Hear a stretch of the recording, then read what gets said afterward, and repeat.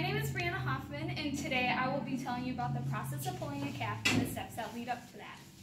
So let's say I'm a farmer here and I want to breed my new heifer that I just bought. So you have two different options to start with to breed your cow.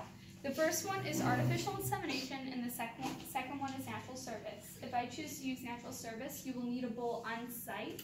And for artificial insemination, you won't need a bull on site.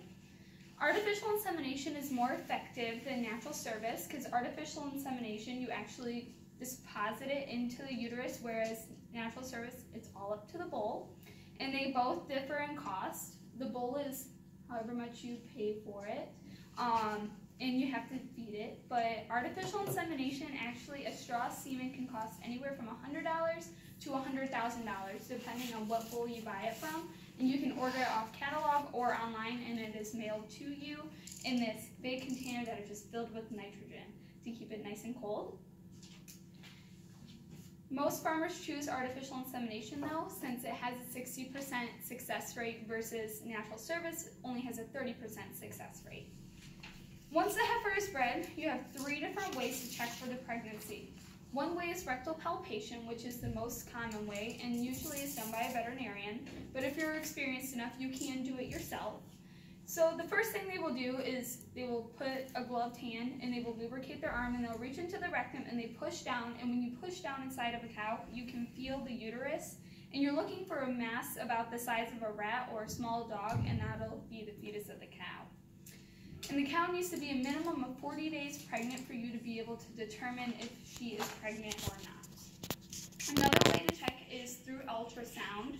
Um, and you can determine if she's pregnant by a minimum of 25 days. And lastly, you can check using BioPRYN, which is a blood test for cattle, and you'll send that to a lab and the results will come back within a week. And you can tell how if she's pregnant within 30 days. Each way is very effective, but they all differ in cost. Um, so rectal palpation can cost anywhere from $2.50 to $25 per female. Ultrasounds are anywhere from $4 to $25. And lastly, BioPRYN is anywhere from $2.40 and $4 per test. It's up to the owner to decide what option is best for them. So once the heifer is determined to be pregnant, we can now officially call her a cow because she's going to be a mother. So you can be expecting anywhere from one to possibly four calves in very rare cases in about nine months. There are six different positions that a calf can be in. This is a picture I want you guys to see. Okay, so the first one is a normal one. This is anterior presentation. This is where the front feet and the head are facing forward, and this is the easiest way for the cow to give birth. Most likely, an experienced mother can just birth this on her own, but new mothers may need help. Um, posterior position is normal as well. Um, just sometimes it's hard to determine if it's the back legs or the front legs. this position can be confused with head twisted back, which is a very severe case of a normal position. And most of the time, um, head twisted back position, the calf will not make it because the pelvic bone will hook on the head and it just won't make it. Um, one and another abnormal breech position that I had experience with, it's called one foreleg back. It's where the leg of the calf, one is forward, one is bent back, and you have to cup your hand underneath the hoof in there blindly and just slowly bring it back forward, and then you can start pulling. Once sorry, next page. Okay, so if the cow is showing signs of distress or has been in labor for more than two hours, that's when you should probably intervene. So let's say my cow here has been in labor for two hours, nothing's showing yet, so I'm going to intervene. So some tools that you're going to need before you even start to consider the fact of pulling, you're going to need a stainless steel bucket for your warm water, iodine, Nolvasan scrub, or antiseptic soap, whatever you have access to.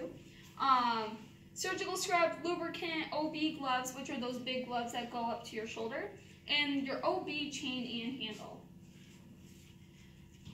Now, she said chain. You got that right. Yes, chain. Use chains. I actually like show you how to put it on in a second. Um, before you start pulling or reaching for a calf, you need to properly restrain the cow first. So most likely the cow will have a halter of some sort on. If she seems pretty calm and not too stressed out, a simple slip knot will do, and if she freaks out, slip knot, you can just pull it and the cow is loose and no injury to you. Um, and if she is thrashing around and very uncomfortable, you might have to restrain her to where she's laying down. And you might need another person for that. So let's say that my cow's fine, she's restrained just fine. So before you start feeling for a calf, you must disinfect the vulva and the area around it to keep infection out. We want to keep the area as clean as possible since we're probably doing this in a barn and not a clinic. Um, to rectally palpate, OB gloves and plenty of lubricant is going to be needed. You got to figure out where the placement of the calf is. Reach into the vulva with a gloved hand to find the calf's legs. And then take the chains and place them around the ankle and the fetlock. So the chains, have you ever seen those dog things? Hold on. I actually have them. I forgot to bring them up there with me. Okay.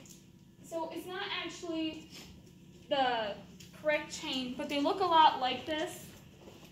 They have two big loops on the end. You'll take it like this. You'll double it, put your fingers through it, and you'll slide it over the foreleg and the fetlock. You'll be doing this blind, by the way, too. And then you pull tight, and it won't come off, and it won't cause any damage to the calf as well. So once the calf and the chain is secured, you can start pulling one leg at a time in a downward motion. That way it's not going to get caught on the cow's pelvis. And then you're going to keep pulling with her contractions. You want to make sure you pull with her contractions so you don't risk tearing her uterus.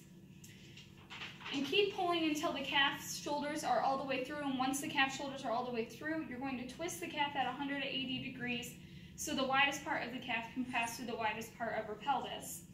And this will make sure not to tear her uterus and that she's most comfortable. And then once the calf is turned, you can finish pulling and just let it plop on the ground. And then once the calf is out, um, you need to get it breathing because they have a mucus plug in the back of their throat. So what you'll do is just stick your fingers in their mouth and pull that out. And if they don't start breathing right away, take your bucket of water that you had earlier that doesn't throw that at them. If that doesn't work, you need to start CPR. Um, how you do CPR is you'll hold their head straight up and you breathe directly into their nose and hopefully they start breathing. But CPR is usually only needed in extreme cases. Once the calf starts breathing and is taken care of, you need to check the mother. Um, make sure to clear out her birth canal for any debris and ensure she is doing well and that she actually takes to her calf.